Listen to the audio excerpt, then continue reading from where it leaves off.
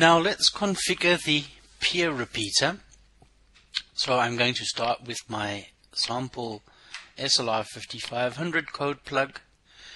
And the configuration is pretty much the same.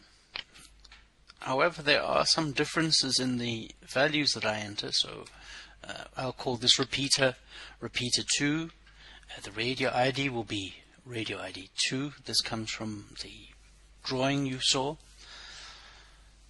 accessories security we can skip network. I need to come here and configure some parameters. Now again these thing these fields are grayed out. So if you see them grayed out it means you have to come here to link establishment and you need to set something under link type. So currently link type is set to none. It means that this repeater is operating in sort of an, a standalone mode so if we change that to peer and we come back here and we'll see that all of these parameters are now uh, ungrayed. Since this is a peer, it doesn't need to have a static IP address. You can enter a static IP address if you want to, but in this case I'm going to turn on DHCP. So when I turn on DHCP, these fields here become grayed out because the IP address, the gateway, the net mask, all of this information will come from the DHCP server, which is in the router to which this repeater is connected.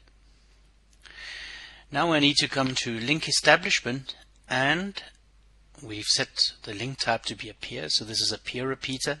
But now I need to give the IP address of the master.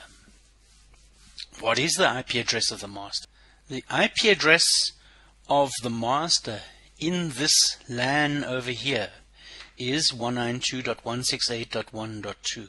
But this master repeater is connected to the router. And this router, well, this router needs to have a static IP on the WAN side, so the, the side that is connected to the port that is the physical port that's connected to the uh, CN. So the WAN IP on this router is static and it is 172.31.0.1. So when the peer connects to the master, it doesn't connect directly to the master. It goes through the router, through the CN, and it arrives, or at least the, the, the packet arrives at this router. The router then in turn forwards anything coming in on port 50,000 to the IP address of the master.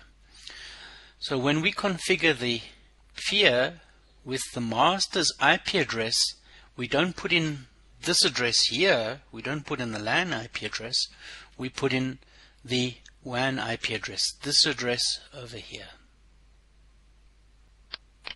So 172.31.0.1. The master UDP port is, is 50,000.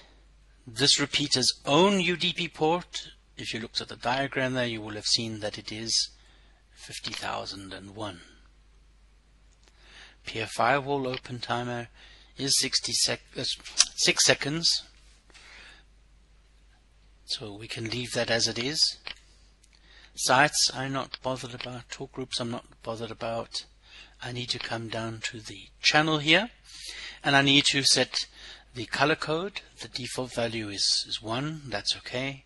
So we say slot 1 is, uh, is wide. Messaging delay we can leave as normal. RSSI threshold we can leave at minus 100 dBm. IF filter we can say is wide, that's fine. We need to enter some frequencies into the repeater. So we can enter some values in here. This would come from your license. The TX power you would set for either high or low.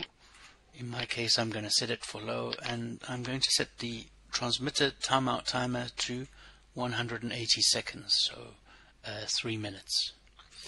I'm going to delete the second channel, uh, channel 1. This is an analog channel, so I just take it out. And we have now configured the peer repeater.